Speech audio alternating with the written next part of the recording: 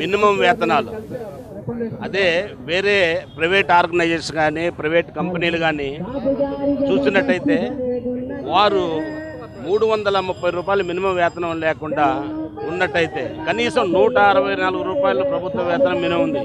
ఈరోజు మూడు వేల రూపాయలు అంటే కనీసం వంద రూపాయలు పడుతుంది. ప్రభుత్వం మరి ఇది ఈ మాత్రం ఎందుకు గుర్తించకుండా ఉందో అర్థం కావట్లేదు.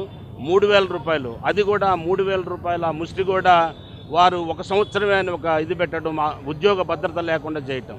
వారు అడిగిన కోరికలు చాలా చిన్న కోరికలు. ఆ కోరికలు తీర్చమని అడిగితే వాళ్ళకి బెదిరింపులు. ప్రభుత్వం నుంచి రిటైర్ అయిన ఒక అధికారి లక్షల లక్షల జీతాలు తీసుకుంటూ ఈ విధంగా మీరు ఏదైనా రోడ్డు ఎక్కితే ఈ విధమైన పరిస్థితి దారుణంగా ఉంటుంది మిమ్మల్ని తీసేస్తామనే ఒక ఉద్యోగ భద్రత లేకుండా ఉంది. ఏంటి ఈ బెదిరింపులు? ఈ బెదిరింపులు మినిమం మినిమం వేతనాలు చట్టము మీకు వర్తించదా? దీనికి వేరే పేరు పెట్టి సర్వీస్ ఛార్జెస్ అని చెప్పేసేసి ప్రభుత్వమే వంద రూపాయలు ఇస్తుంటే ఏ విధంగా దీన్ని వర్ణించాలా మనం? ఇది చాలా దారుణమైన విషయం. మినిమం వేతనం ఇవ్వాలి.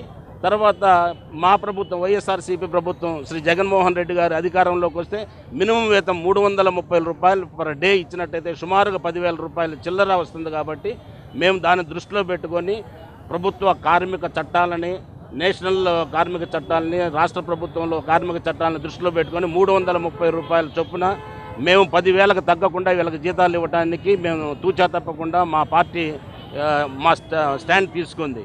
కేవలం ప్రభుత్వం ఏదైతే ప్రభుత్వం ఉందో నాలుగు నెలలు నాలుగు నెలలు మాత్రమే ఉంటుంది. నాలుగు నెలల తర్వాత వైఎస్ఆర్ సిపి ప్రభుత్వం రాబోతుంది. వీళ్ళ కోరికలన్నీ కూడా తూచా తప్పకుండా మేము పరిశీలించి తీరుస్తామని హామీ ఇస్తున్నాం.